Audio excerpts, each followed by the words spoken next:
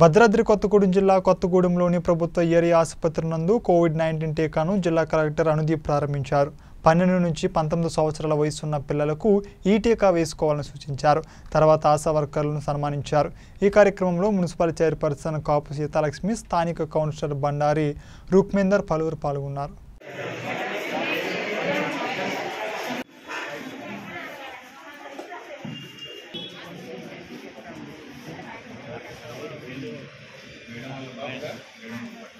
sir sir